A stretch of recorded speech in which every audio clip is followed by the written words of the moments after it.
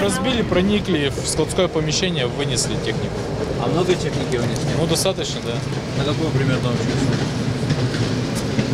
Практически всю витрину. А у нас как бы один из самых крупных магазинов. А во сколько это примерно было? Ночью.